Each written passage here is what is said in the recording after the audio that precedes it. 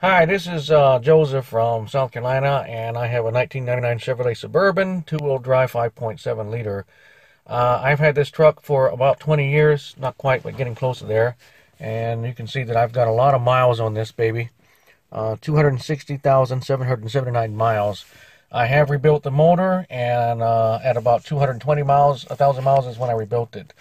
So she's been a great truck, but I've got a problem that I need some help with, and I'm, I'm, making this video for anybody out there who has experienced the same problem with any of your GM trucks from 96 to 99 or even onward. Uh, basically, what's happening is uh, sometimes my engine cuts off and it won't allow me to restart, and it's giving me a passcode error um, fault code. Uh, other times, it gives me a, a uh, uh, crankshaft sensor failure and all that kind of stuff.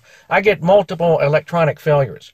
Uh, so I originally thought it might have been my ignition switch, which I already replaced about three years ago. Uh, and it might be bad again. I don't know. But basically, what happens is uh, whenever I use my turn signals, my voltage will drop from 14 down to about 12 at times. And, and in some cases, even when I'm driving down the road, it will shut off. So I tell you what, without without gabbing you too much to death, let me go ahead and um, and um, start the engine up, and I'll show you what it's doing. All right, so I'm going to turn the key. I'm going to check my security light to make sure that, because sometimes the security light will just flash. So I was thinking it might might be the, uh, what, what they call that, the anti-theft module. But All right, so we're going to go ahead and start it up. All right, so the motor starts. You can see everything's working good. I mean, I don't think there's a way I can shut the light off. Okay, I got the light off, and so now you can actually see what my gauges are doing.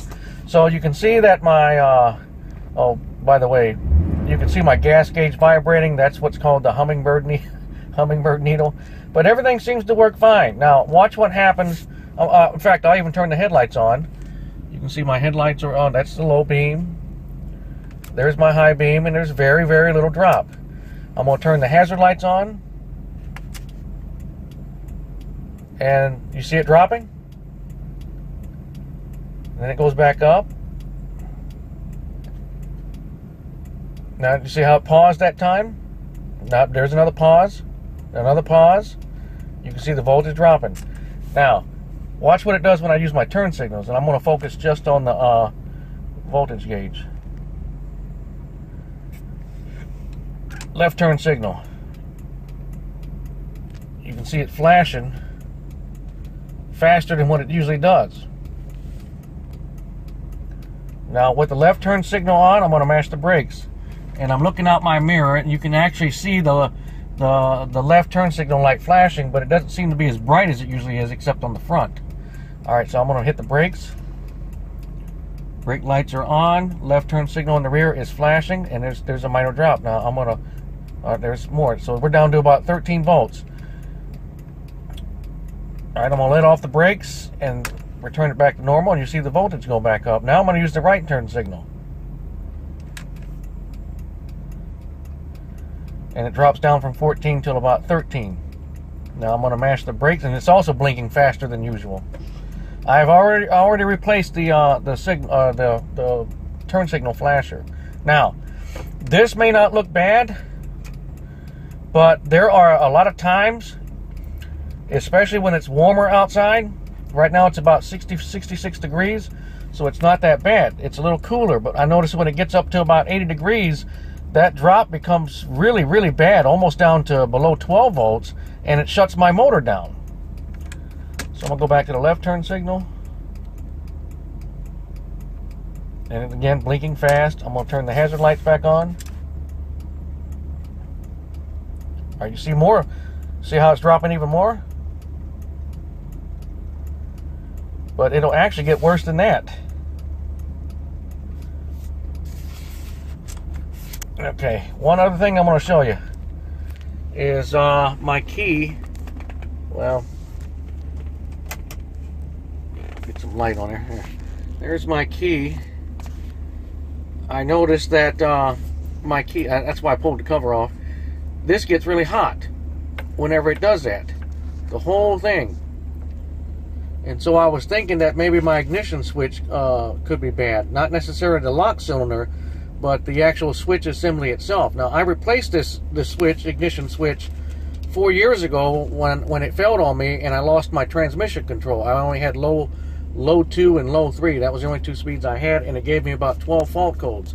I knew then and there that it was my ignition switch. So I replaced it. Well, now I'm having the same problem. Uh, I'm having a different problem. But this time my, my switch is my switch gets hot.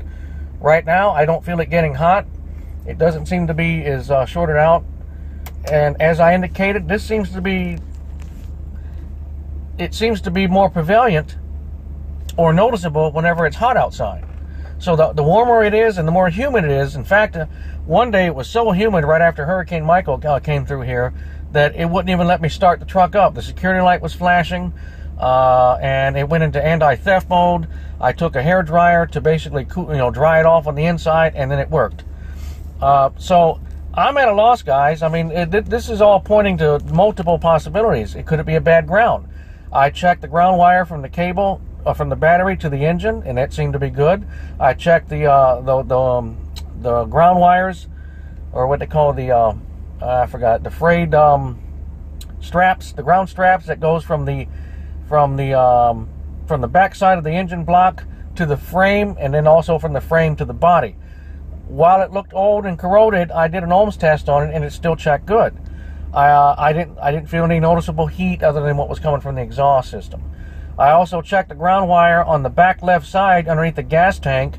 Uh, I believe that one's the one that controls the fuel pump. That brings me to my last point.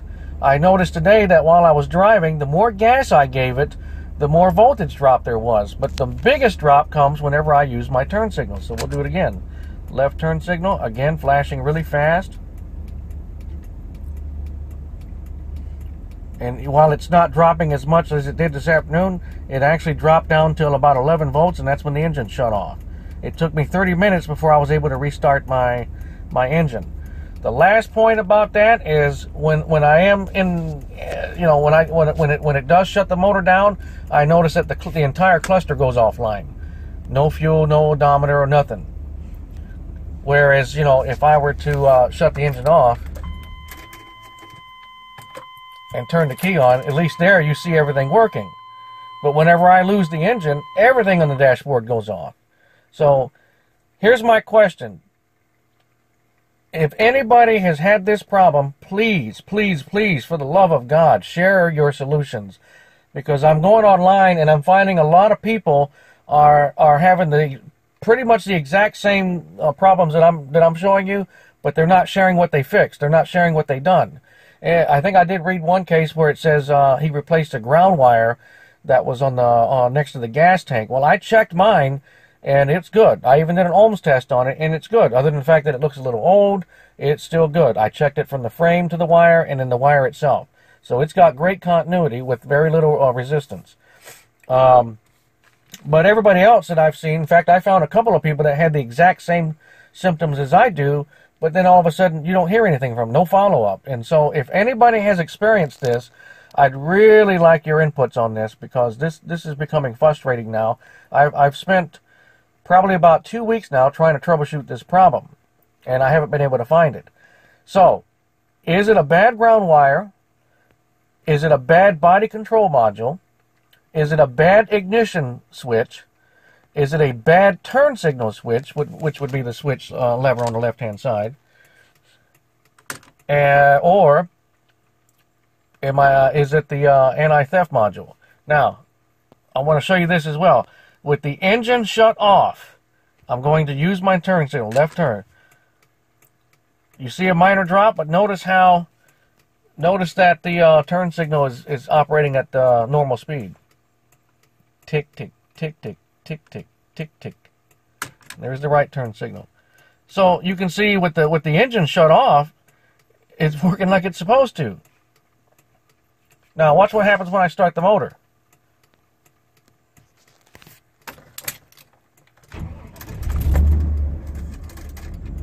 See, it sped up. It's almost like there's a sudden burst of amperage going through the ignition system. Now, I do have a 140 amp uh, alternator on here.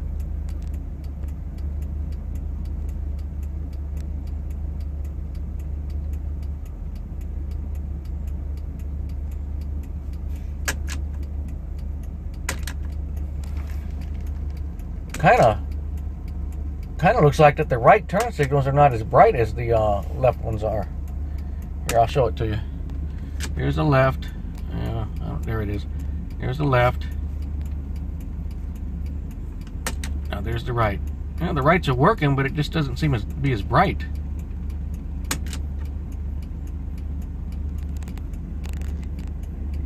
Left, right. Yeah, I guess they're about the same.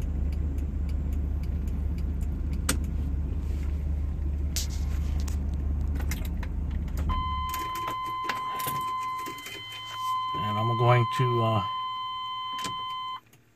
there's what the engine off. Now the turn signals are working exactly like they're supposed to.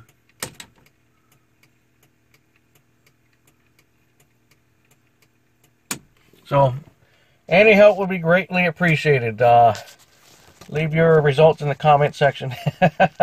help, guys. Needing it because I can't figure this one out. So long.